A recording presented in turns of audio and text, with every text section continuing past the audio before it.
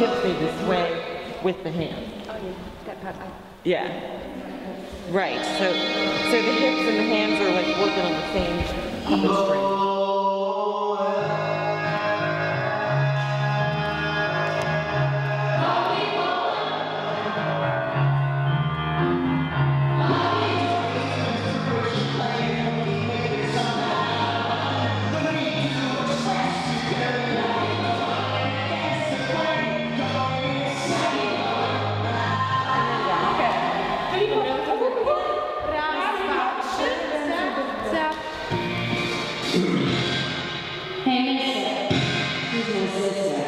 Sister? We're close.